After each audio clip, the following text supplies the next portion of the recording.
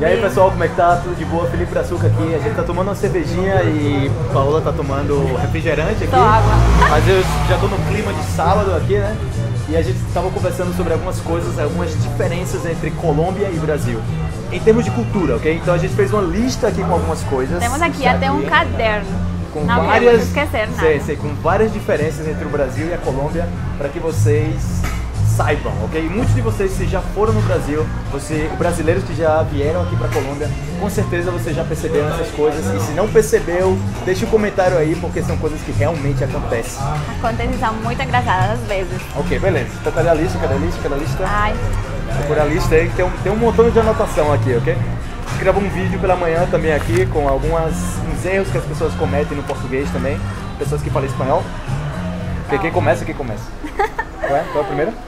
A primeira é que eu Ok, falei ok, pra ok, você que a gente estava também no almoço, então eu lembrei que lá no Brasil, aí no Brasil, para os que estão lá, estão lá, é, o guardanapo, o guardanapo de vocês realmente não funciona. O guardanapo, ou seja, eu como sou do Brasil, eu vim pra aqui pra Colômbia e não percebi isso, mas as pessoas que saem da Colômbia e vão pro Brasil, na mesma hora se dão conta que o guardanapo do Brasil Uma parece folha. um caderno, ok? É como uma folha de caderno, não serve realmente para como limpar a boca os resíduos de comida. A menos, a menos que você vá para um, não um restaurante, não um restaurante mais fino e tudo mais, ou se você compra no supermercado, você vai ver que aí sim funciona o guardanapo, porque vem mais macio. Mas geralmente no lanchonete no Brasil, os guardanapos São são como como uma folha. esse, certo? E você precisa Acho- tipo uns 10 para limpar a boca, para, sei ou não. 10, eu achei muito, muito estranho, muito esquisito isso. E como eu menciono pra vocês, ou seja, eu como sou brasileiro, cheguei aqui e não vi a diferença tão grande, mas uma pessoa que está acostumada com a, com a coisa boa, quando chega no Brasil, na mesma hora nota que, que guardanapo é esse, é muito estranho. Mas não é em todo lugar, em alguns lugares, né? Bom, essa era a primeira diferença que a gente. Ok, a outra, uma coisa que me chamou a atenção, mais, ok? As pessoas aqui na Colômbia comem frango com a mão. Seja, colocam luva na mão Normal. e comem frango. E pra eles é normal isso. Ou seja, no Brasil a gente não vai no restaurante e as pessoas comem com a mão. Você Mas- come no talher. Isso, mas não em todos os restaurantes, porque também temos talheres, também temos restaurantes que, que devem ser utilizados um talher, mas na verdade a gente fala Não é que comum. aqui, por exemplo, na minha cidade, que é Medellín, sei se em toda a Colômbia também, Aham. é, a gente fala é, porco e frango se come com a mão. Se come com a mão. Então, mas aqui temos luvas, que são luvas pra luvas comer. para comer frango, porque acho que não, não tem sentido, fa- não faz sentido ter talheres para isso. Ou seja, no Brasil, se você for comer, ou seja, primeiro comer com a mão em um restaurante não é uma coisa muito bonita de se ver. Ou seja, você vê uma pessoa comendo com a mão é tipo, caramba, ou seja, você tá na sua casa Mas depende, então, o restaurante que e a, tem... e a outra coisa é ter luva. Ou, ou seja, o restaurante que tem luva é porque está preparado para isso, então é normal Como KFC, ok? Isso, al- alguns restaurantes assim, ou também é muito usado aqui ter, é, ir para um restaurante e comer alitas de frango. Asas de frango. Asas de frango, Ah, isso asas é de comum, frango, então pequenininhas, então você tem luva para comer. comer. Próxima, próxima cá. Ok, outra coisa que me chamou a atenção. Daqui a pouco o Paulo vai falar as coisas que chamou a atenção dela no Brasil. Uma coisa que me chamou a atenção aqui na Colômbia é que eles tomam água em saco. Ou seja, eles compram tipo 500 ml de água em um saquinho. E você abre isso e tipo, na rua é muito comum que as pessoas comprem Muitíssimo, muitíssimo. a- até, até de 200 ml também. Compra um saquinho, uma bolsinha de 200 ml e toma isso. Mas é normal. Mas temos também garrafa. Temos. Temos Ok. garrafas e é normal também. Mas também existe aquela, aquele saco. Ah, um pequeno. saco grande, Saco tipo também 5 grande. litros, 3 também, litros, também com temos água também. Água. Principalmente falo- que, que, no, que no Brasil é mais comum leite. Leite, aqui também temos leite em, em saco, em bolsa também, Aham. fala isso. Mas é, para ele foi muito estranho achar. Pra todo mundo, assim, todo, todo brasileiro que vem aqui na Colômbia fala a mesma coisa. Caramba, eles têm saco aqui pra tomar água, água. ou seja, você. É muito útil É muito prático. É muito prático. prático e é muito mais barato também. também, mais Ok, barato. next. Ok, de- galera, desculpa aí o barulho, porque a gente tá aqui no bar, tá tendo jogo de futebol aqui, vocês estão vendo que tá passando o jogo. Eu acho que é É um nacional, vídeo tá muito jogando aí. informal. Então se não dá pra escutar muito bem. Ok, o que vale é a intenção. Qual é o outro? Esse. É, Minuteiros. eu percebi quando eu fui no Brasil que vocês lá não tem. Acho que falar mais alto, tem, então o microfone tá onde? Ah, tá aqui. Ok, pode falar mais alto. É, no Brasil não tem aquelas pessoas nas ruas que estão vendendo minutos de, de celular. Então, se você fica sem bateria, sem minutos no seu plano de dados, sim. no seu celular, Tchau. Você fica perdido. Não, não tem nada para fazer. Mas aqui na Colômbia, a gente na rua, cada esquina da cidade tem alguma pessoa que está vendendo minutos. Então, é muito barato. Tipo, aqui são 100 200 pesos, 200 pesos, Seria tipo como 30 centavos, 40 centavos. real. Então, literalmente, você chega numa pessoa, tipo como se fosse uma, uma banca de revista no Brasil. Você chega na banca de revista e você fala pra pessoa, "Ei, eu quero uns minutos. E a pessoa empresta o celular pra, pra você e você pode ligar pra qualquer pessoa, inclusive chamada ligação exterior. Então, imagina. E Então, muito barato. fácil, muito fácil a comunicação. Prático, prático. Próximo. Próxima. Então. É, es- bom, é que quando eu estava. Eu percebi também que o almoço lá é caro demais. Mas também percebi que era muito diferente. Porque aqui temos também tipo buffet. Buffet? Buffet, buffet. Buffet. Mas, além disso, lá eh, vocês têm eh, brasileiros, não sei. Aí eles têm. eh, A gente, nós brasileiros. Não sei, Nós, vocês é. brasileiros têm eh, comida no peso. Ou seja, você Muito chega comum. no restaurante e além de você poder ter a opção de escolher sua comida, ao final, coisas. entre várias coisas assim, ao final você tem que pagar pelo peso. Você decide pelo peso ou é prato. Seja, Tem lugares que você paga um valor fixo, como 15 reais, e é buffet, você serve o que você quiser, mas você serve uma vez, ok? E tem, e tem outros também que você pode simplesmente colocar no peso, você vai colocando, não tem valor fixo. Você pesa e você paga de acordo com o peso. Então aí você vai ver no restaurante, restaurante, não sei, X, e eles colocam 25 reais o quilo. Então, aí eu comentava com você, entre um quilo de batata e um, E um quilo de carne. então as pessoas pensam é muito mais. peso. É o mesmo peso. As pessoas pensam muito mais antes de colocar. Isso, Antes mas de não, colocar alguma coisa se você falar de um quilo, é igual um quilo de batata, um quilo de Não, mas. carne. o- Ah, é verdade? não, não, não, não, não, não, mas tem uma diferença. Se você tem um quilo de batata, você não vai ter um quilo de carne. E a carne vale mais que a batata. Ou seja, em teoria. Ou seja, teoria não, a prática. Então se você coloca o seu prato e o seu prato deu um quilo e só tem arroz e batata, Não Veja, vale tanto a pena como se vale fosse carne. Não vale a pena. Ou seja, você teria que ter feijão e carne, E que, é- carne. são as mais caras. Então, Então, camarão eu- também, peixe. Como eu queria poupar dinheiro porque estava de intercâmbio, meu Deus, eu não podia gastar tanto dinheiro. Então eu tinha que de- decidir o que eu teria, eu teria que comer. Teria que comer. Ou outra coisa também que são as marmitas. No Brasil a gente vende muita marmita. Então você vai no restaurante, não nos restaurantes finos, ok? Você vai no restaurante mais normal assim, do povo, e você pede um prato feito também. Que ele pode colocar numa marmita. Então eles vão colocar essa, tudo isso dentro de um recipiente de alumínio, fecha isso e você leva para o lugar que você quiser e come. Aqui não Esse temos isso. Esse eu nunca não, não vejo aqui. O pessoal aqui Não. leva como, como a gente fala no Brasil, Tupperware e coloca a comida dentro e leva. Mas no Brasil é muito comum um marmitex. Não, aqui eu falei que temos isso, mas se você vai no restaurante e você pede eh, uma embalagem para a sua comida, é porque você vai comer aquela comida na sua casa, não assim normal numa Na rua. Na tipo, rua, não. Aí, sim. Verdade. Próximo. Próxima. Pra mim ou pra você? Pra você. Qual é? É rodízio de comida. Galera, aqui na Colômbia vocês não vão encontrar rodízio de comidas, ok? Você não vai encontrar rodízio de pizza, rodízio de crepe, rodízio de sorvete, rodízio de salgadinho. Não tem rodízio de nada aqui. Não é comum isso. Não é Não. comum que você vá para um lugar, pague um valor fixo Pra e uma você- coisa só. Uma e coisa você coma o quanto quiser, não, não é comum. Isso eu nunca vi por aqui. E se tem, tem alguns restaurantes brasileiros. Aqui em Medellín tem dois restaurantes brasileiros. Mas mesmo assim não é nada comum. Mas não, não. Isso me chamou a atenção porque no Brasil é muito normal que você encontre rodízio de tudo. Sente saudade disso. Você sente saudade. Sim. Por isso no Brasil eu comia de muito, eu comia muito no Brasil. Comia muito. Pizza de chocolate. Sim. Ia pra rodízio, passava o dia inteiro sem comer nada. Ou seja, literalmente, pela manhã eu comia um pedacinho de pão e ficava esperando até a noite pra ir pra um rodízio. Ai, meu Deus. Isso é horrível pro corpo, eu sei. Mas eu comi tipo uns 15 pedaços de pizza. Não, aqui não temos disso. Acho que um brasileiro sente, sente muita saudade disso. Verdade, que não é comum. Bom, aqui também que é muito conhe- conhecido também. É, no Brasil não tem arepa. Arepa no Brasil. O mais parecido com isso é a tapioca.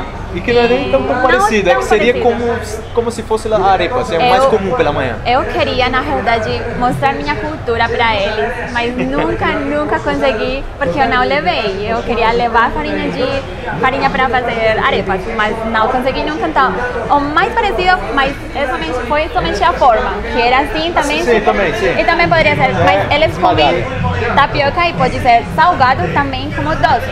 Então não tem muito parecido com arepa. Mas pelo sabor, eu vou te falar. É, há uma coisa que tem lá que se chama polenta.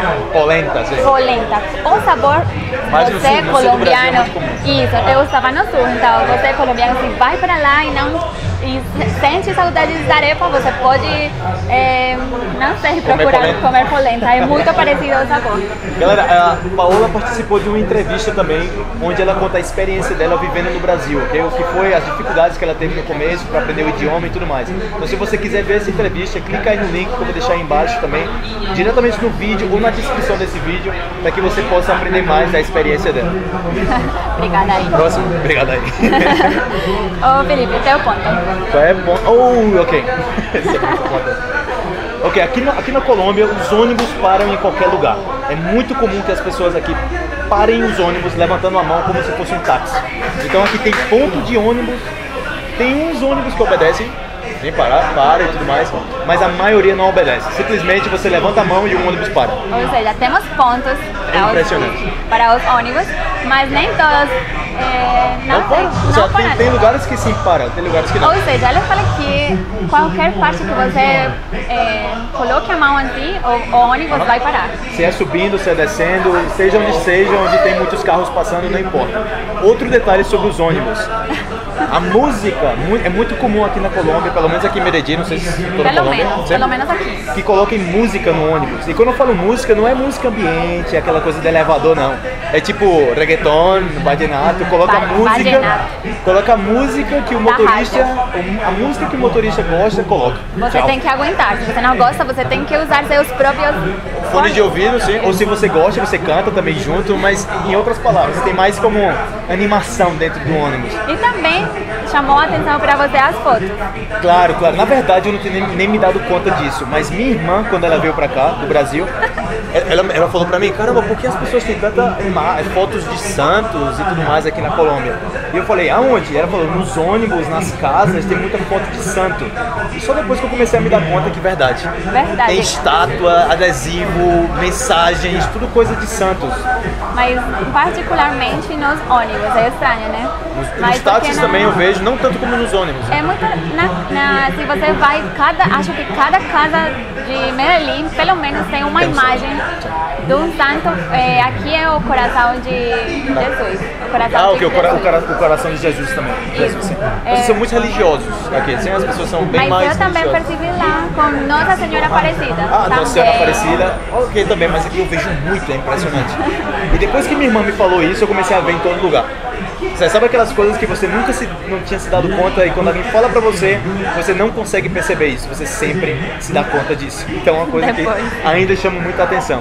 Mas ah, temos algumas coisas assim como cerveja, cerveja nos bares. Você- cerveja no bar. Cerveja no bar. Aqui na Colômbia, eh, cada um de nós pede, pede sua própria cerveja. Mas não, não em copo, tem Não uma em copo, garrafa. uma garrafa. Uma garrafinha pequena de 350 ml, cada um pede sua cerveja. Cada um, mas lá no Brasil, eles pedem uma só e eles compartilham Pra todo mundo. para todo mundo. Em copos, mas pede somente todo uma. mundo. E é gigante. Grande, grande, tipo 600 ml, 650, por aí. Então a coisa mais comum do mundo é que você chega no Brasil e você peça uma gelada e você pergunta para as pessoas que estão na mesa, pessoal, o que? Skol, Brahma, eu, não, uma, uma Brahma e um Skol. Então chega as duas cervejas, todo mundo tá com seus copos, então coloca para todo mundo e todo mundo se serve, assim, Nós normal. aqui temos tantas opções que sempre cada um de nós escolhe Aqui sua é a própria é cerveja. miniatura, é miniatura aqui. então, também como vocês têm aquela cerveja tão A maior, grande, a assim, a grande, é, vocês, eles têm uma coisa de plástico Ah, sei, sei, sei. sei. para a, a, cerveja não se esquentar. Sei, pra não Isso. esquentar. então por isso, porque a cerveja é maior, então, Então. teoricamente demora mais para consumir e tudo mais. Para não esquentá-la com as mãos. Aqui eu nunca vi. Não, eu Nunca. queria até tra- trazer um pouco disso, porque eu achei legal, achei bonito e até poderia ser um negócio. Também. Bom, continuando aqui, Ao próximo. o Pra mim. próximo é teu. É, não é Quê? comum comer sopa na comida Ok. principal. Sim, como antes da comida. Aqui, é, mu- galera, aqui na Colômbia é muito comum que se você pede um menu executivo, antes da comida principal, antes do prato principal que você pediu, você, eles oferecem sopa. E até onde eu sei no Brasil, a sopa geralmente você toma no período da noite. Então, pelo menos no Nordeste, se você for no almoço, vou, tomar, vou, vou comer uma sopa, vou tomar uma sopa. É o tipo, jantar. sopa? Mas sopa no almoço? Ou Aqui seja, é tão comum. não, no Brasil não. Aqui Eu primeiro- não sei, eu não sei se todo o Brasil, mas Nordeste. eu Aqui, que- além de feijão, que também temos feijão, é diferente, mas temos. Mas o- os outros pratos normais sempre vem assim, sopa, salada e o prato principal. Muito comum. Muito comum. Muito comum. Mas, é, assim, tipo, relacionado com a comida, Comida, é, eu, eu percebi muito difere- diferente no café da manhã eles comem doce, muito. Aqui é muito, muito normal, muito comum comer coisas salgadas, ou seja, pão, é, arepa com ovo, mas vocês colocam um biscoito. Biscoito também. recheado, tipo- tipo Oreo. Ou seja, Oreo, chocolate de café da manhã, no café da manhã. Então, Não é acho- não, aqui não, eu não vou. O mais doce que eu posso também comer aqui é granola. Você, Sim, granola. Granola doce. ou é, é, pode ser que algumas pessoas coloquem mermelada, não sei como Ah, você diz. geleia. Geleia. Geleia, geleia pra passar por cima também, misturado e tudo Mas mais. isso é o mais doce que eu acho. Mas biscoito e é, bolo no café da manhã é muito estranho. É, ai, Os também- beijos. Os beijos. Ah, eu Os per- beijos. Vocês devem ser muito educados, ou seja, aconteceu? porque você, porque eu sempre ia saludar, cumprimentar alguém e eu dava um beijo. Um beijo. Colômbia dá um beijo. Um beijo. É, no Brasil, acho que em todo o Brasil, vocês dão, Dois. dois beijos. E tem vezes que três. Três? A gente fala, pelo menos no Nordeste, é o, é o terceiro pra casar. Ai meu Deus. Então dá um, dois, aí o terceiro pra casar. Ai, pera, mas com todas as pessoas Não, não, não, não, não. Você tem que ser uma pessoa mais especial. Ah, porque senão seria, eu sentiria muita preguiça de cumprimentar Claro, todo tem- mundo não. de três beijos. Tem vezes que você tá em um lugar e você simplesmente, ei galera, tchau todo mundo, porque se você vai cumprimentar todo mundo com dois beijos é o Dois inteiro. Então tem que ter cuidado porque eu sempre acho que eu deixava as pessoas assim, tipo, eu dava um beijo e a pessoa ia dar outro e eu já estava Já lado. longe. Aqui acontece muito isso na Colômbia. Eu vejo brasileiros que vêm aqui e o pessoal vai cumprimentar os colombianos e dá um beijo e vai dar o outro e o colombiano já tá do Já, outro lado. já não estou. Aí eu vejo isso e eu sei que no Brasil são dois e aqui é um.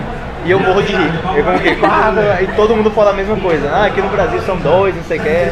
Mas é, é interessante É isso. interessante isso. Porque você, como no, Brasil, te fala que, que você fica sobrando.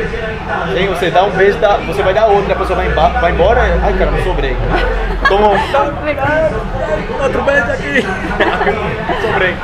Uma coisa que a gente não sabe antes de viajar para lá. Cuidado com isso.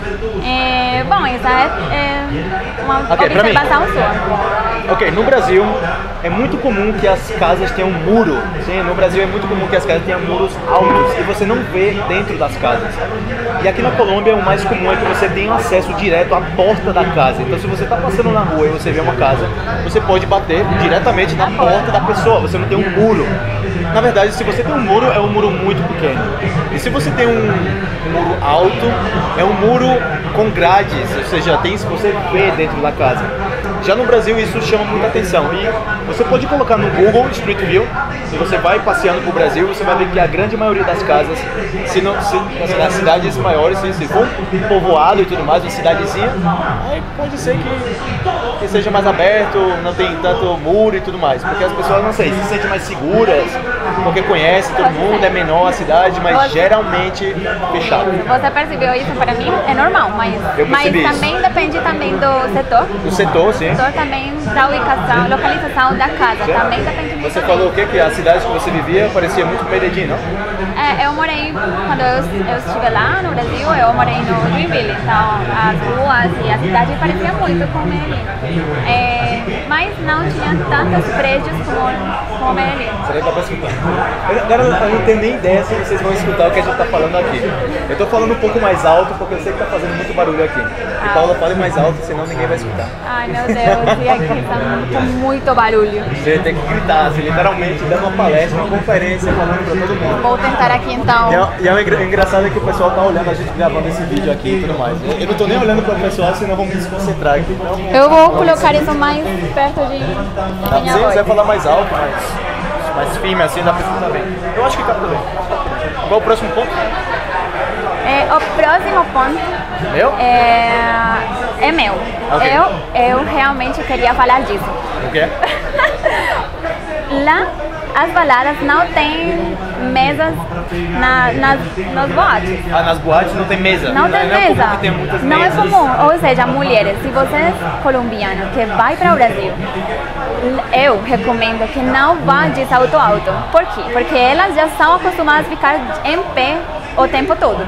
Mas a gente não. Eu sempre, sempre estou acostumada para ter para sentar. Mas então, é, o que eu estava dizendo agora que a gente agora, Sim, agora que, agora que a gente estava fazendo a lista é que é, aqui, então, nas baladas tem mesas para todo mundo. Se você quer ter um lugar melhor, é um VIP, certo? Camarote. tem um camarote e tem um lugar especial. Mas todo mundo tem mesa. Em- Mas lá no Brasil é muito mais caro. Você tem que pagar pra estar nessa área, assim, pra ter uma mesinha, cadeira. Mas para você estar no, no, no VIP, no camarote no Brasil, você, se você tem mesa é porque você pagou. O resto das pessoas que estão em pé, de pé ou em Pobres pé. mortais, todo mundo em pé. Ou seja, sentar. as mulheres também ficam muito arrumadas, também. Não, aqui também se arruma muito. Aqui também. As Mas saem aqui de noite parece que uau, ou seja, salto alto e assim. Mas lá, meu Deus, é terrível. Exagerado? Exagerado, mas é, elas já estão acostumadas e não ficam cansadas. Eu achei isso incrível, por isso? porque eu estava. Olha só, eu vou contar isso. Eu ia somente para o banheiro para. Pra tirar o sa- pra sentar? Pra sentar um momentinho. em vez de pagar um camarote, né? Mas- Daí se amarrando e Eu tá estava de intercâmbio, eu tinha que salvar, guardar meu Não, verdade, dinheiro. verdade. Como a gente fala no, no Brasil, tava liso, ele não podia estar gastando dinheiro. Ah, entendeu? Tava mais liso que bunda de neném. Ah, Já aqui viu? também. Sim? Mais Mas lisa que bunda de neném. é igual, mas em espanhol. A próxima? A próxima. Essa eu já falei. É, mas música- eu gostaria de falar dessa também porque é relacionada com as baladas. Ah, mas a música alta nas, na- na- nas festas, na, nas... Bom, essa, essa Ok, eu é falo essa. música alta nos bares. Nos bares, sim. Aqui é muito comum aqui na, na Colômbia que o pessoal coloque muita música alta nos bares. E quando eu falo bar, é tipo pra tomar uma cervejinha, pra conversar e tudo mais. Sendo que tem vários bares, um do lado do outro, e cada um que coloca sua música super alta. E a galera começa a escutar de todo mundo. E literalmente vira uma desordem, uma bagunça total.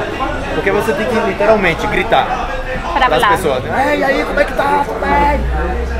Seja, é impossível A conversar. outro dia você saiu somente com isso. A outro dia você fica sem voz, mas não foi uma festa assim terrível, não. Somente porque você Não. fez um esforço gigante para Pra, falar. pra falar mais alto porque ninguém consegue escutar o que você fala. Então, o que ele fala é que os bares aqui ficam pertinho, perto, perto um do outro. Sim, Mas cada um deles tem sua própria música forte, alta, muito alta. Bom, E, e outro ponto que mencionaram que no Brasil, uma pessoa da Colômbia que foi no Brasil mencionou, não, Julian falou pra mim que no Brasil as, as festas são muito como um bar, muito silencioso, não coloca música, é muito calado. Os barzinhos, barzinhos, é música muito suave. no Brasil. Certo. Não é música muito forte, muito alta. Onde assim. esteve, esteve ele? São Paulo? Ah, estranho, Mas não sei, eu não forma, fui. eu acho que é dependendo de cada lugar. Mas, Porque eu fui pra umas baladas de sertanejo. não, mas, não, mas balada é uma coisa, Ah, barzinho é balada. outra, Ah, bom. Ou seja, barzinho é pra conversar, bater um papo. Uma balada é música, ninguém vai bater um papo cabeça numa, Numa boate. balada. Ah, Ou seja, você vai dançar e tudo mais. Ué, Essa é a próxima sua. A próxima é minha porque, olha só, Isso é muito muito importante. importante. Por Fala aí, quê? fala aí. Porque a música deles é diferente, muito diferente. Você vai sentir saudades de salsa ou merengue, não sei, mas eu queria curtir de todos os tipos de música do Brasil. Então, é, eles têm uma coisa chamada sertanejo. É, é bem legal. É tipo pop, não sei, mas É, é a música número um música escutada no sertanejo. Brasil. Sertanejo. Sertanejo. Então, tem baladas disso. Hum, eles queriam conhecer eh, o reggaeton. Eles queriam. Ah, o reggaeton. É, reggaeton. Eles queriam conhecer como é que isso se dança. Se dança, como é que se dança reggaeton? Então, eu mostrei. Eu mostrei, mas eles acharam muito, muito sexual. E ele, as mulheres de lá ficavam, meu Deus, eu não vou dançar assim. Aqui, e acho que na maioria dos países de América Latina, eh, Central, América Central. América Central, é, é normal dançar assim como re- o reggaeton se dança. E dança muito esfregando, ok? Como a gente fala no Brasil, sarrando. Em brasileiro, assim, português brasileiro, alto e claro, sarrar. Sarra. Então estão dançando e estão sarrando, sarrando, mas tipo, eu vou dançar com várias meninas que são amigas entre elas e que tem namorado, não sei o que e tal.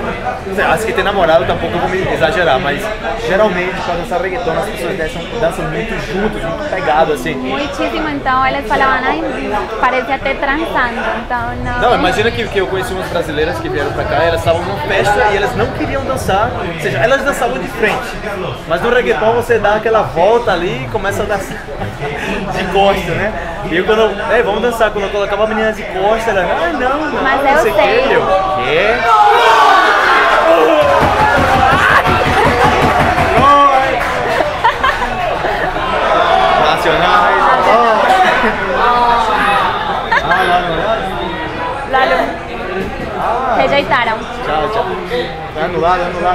Alarme falso aí. Parou onde? Bom, então. então, então, é, é muito comum que as, as meninas que são da Colômbia, elas vão pro Brasil e vão dançar da mesma forma que dança aqui na Colômbia. E se você dançar assim no Brasil, os homens vão ver e vão pensar que você tá querendo literalmente Transar, uma pegar. toma. Ou seja, cuidado com isso, meninas. A menos que vocês queiram de verdade, aí sim você dança dessa forma. Isso, a, é, a menos que seja funk. Eu sei que Ah, funk funk no é Brasil também é um pouco mais sexual. O que eu, Oi? Não, o que eu mencionava pra você naquela vez. Aqui, quando o brasileiro vem aqui, ele pensa que na festa você vê aquela sarradeira toda, que sarra aqui, se esfrega, não sei o quê. Você pensa que tá acontecendo um montão de coisa, mas não tá acontecendo nada. Já no Brasil, ou seja, simplesmente você não vê nada acontecendo na festa, mas por trás dos bastidores está acontecendo muitas coisas. Então isso é uma diferença muito grande. Aqui você dança desse jeito e é normal. Você é um amigo, você pode dançar dança assim com outro, com um amigo.